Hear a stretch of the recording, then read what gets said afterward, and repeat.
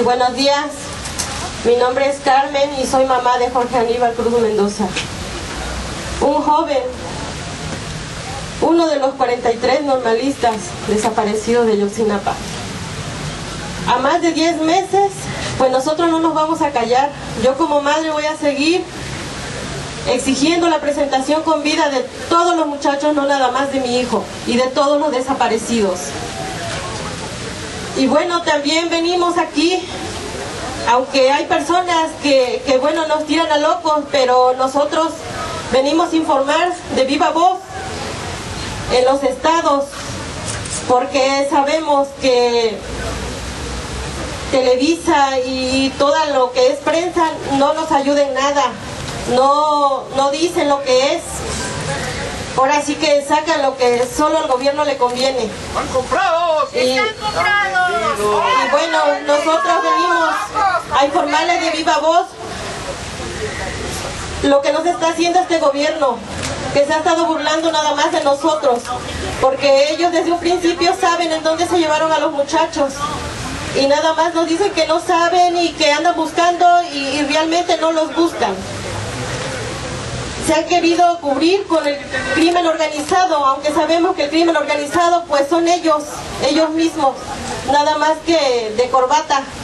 Y pues han querido cubrirse por ese lado. Pero bueno, nosotros como padres, yo digo que no es justo lo que nos está haciendo.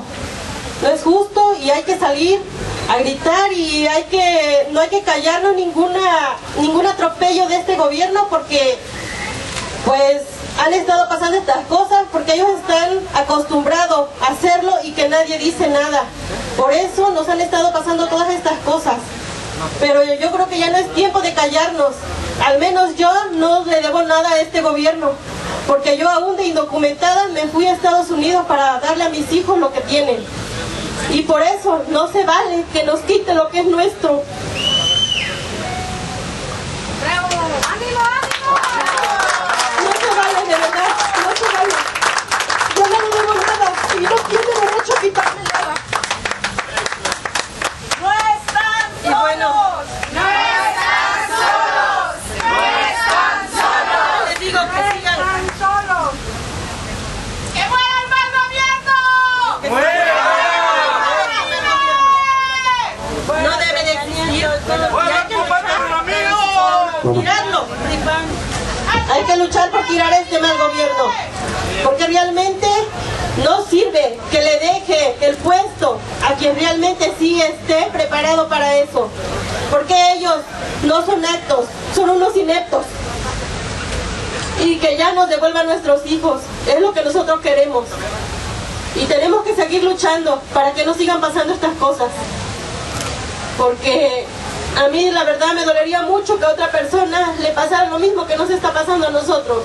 Sabemos que hay muchos desaparecidos, no nada más son los 43, son miles de desaparecidos y tenemos que luchar por eso.